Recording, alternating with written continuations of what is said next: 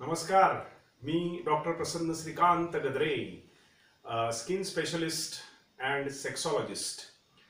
तर बादली घेऊन बसलोय. मॅचिंग आहे की नाही? लाल लाल.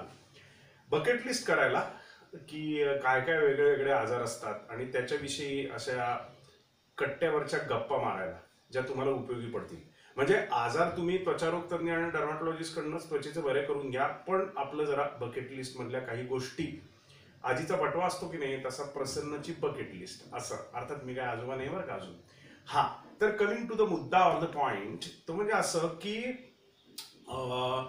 ड्राय स्किन जी असते ना म्हणजे त्वचा कोरडी झाली की त्वचा अनेक आजारांना वेलकम करू शकते. ड्राय स्किनमुळे काय होतं की त्वचेची इंटिग्रिटी जाते. हा.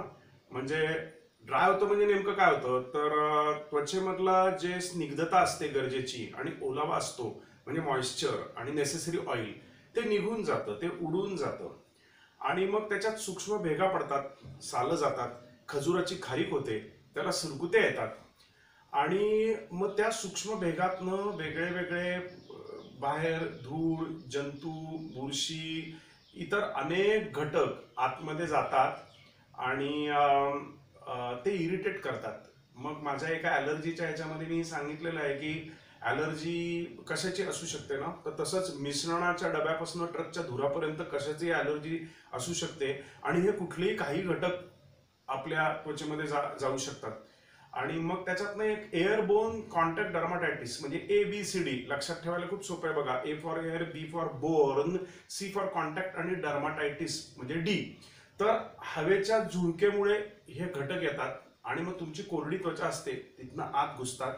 आणि मग खास सुटणं आगाप होणं झोमणं तडतडणं उलणं लाल होणं सूज येणं आणि मग कधी कधी काय होतं त्या ड्राय डर्माटायटिसचं रूपांतर व्हिपिंग डर्माटायटिसमध्ये होतं. म्हणजे रडायला लागते. म्हणजे पेशंटही रडतो आणि त्वचाही फार रडते हो.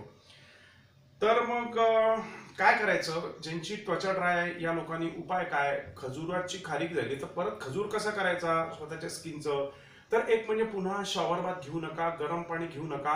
खूप गरम कडक पाण्याने आंघोळ केली नंतर काय होतं की जी गरजेचा स्निग्धता आहे ना ती पण निघून जाते. म्हणजे इमॅजिन करा की लोण्याचं भांड आपण घेतो आणि कढवतो आणि मग लोण्याचं भांड ओशट होतं. तो ओशटपणा काढायला आपण मुद्दामून त्याच्यात डिटर्जंट आणि पाणी टाकतो. मग तसंच काहीच होतं गरम पाण्याने तेल निघून जातं कोरडी होते. साबण जे आहेत ते लावू नका ते खूप अल्कलाईन असतात.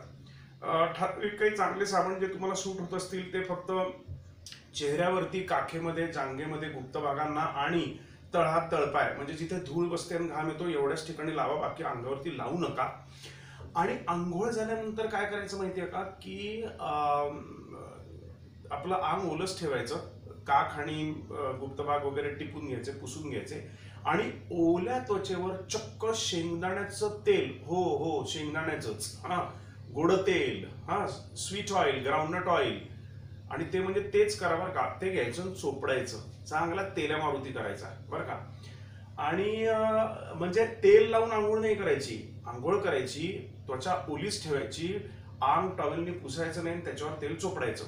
आणि मग ते कसं असतं की मनुका तुम्ही पाण्यात ठेवल्यावरती मनुका जशा फुगतात की नाही तसं जेव्हा स्किन तुमची सोक्ट असते पाण्याने तेव्हा स्किनचे सेल सूक्ष्मात जे असतात ते फुगतात त्यांच्यात सूक्ष्मात गॅप होत निर्माण होते आणि त्याच्यातनं पाणी आतमध्ये झिरपतं आणि आत सॉरी तेल झिरपतं आणि त्या ओल्या स्किनमधनं आणि तेल आत झिरपल्यावरती ते आतल्या बाष्पाला उडू देत नाही. हा त्याचं एव्हॅपोरे एव्हॅपोरेशन किंवा वेपरायझेशन होऊ देत नाही.